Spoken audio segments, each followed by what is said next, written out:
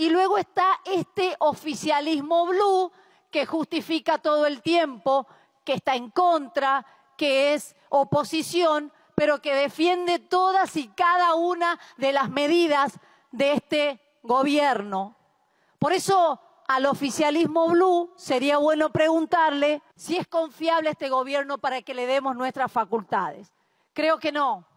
Primero, señor presidente, por sus declaraciones, donde ya le dijeron, y la verdad que me daría vergüenza volver a La Rioja y decir que le cedí mis facultades como senadora a Terminator porque vino del futuro apocalíptico a defender la Argentina. La verdad que no, no, no me daría la cara. Después, decir que cedo las facultades a un presidente que en seis meses no pudo solucionar ninguno de los problemas de este país, al contrario, asfixió las provincias, no envió los fondos que legítimamente le corresponde, profundizó la desocupación, donde tenemos más de 100.000 puestos de trabajo menos, donde en mi provincia tenemos 10.000 puestos de trabajo menos.